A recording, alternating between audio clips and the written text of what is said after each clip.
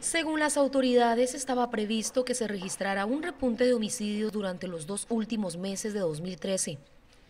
En noviembre se reportaron 259 asesinatos, mientras que durante ese mismo mes de 2012 se registraron 175.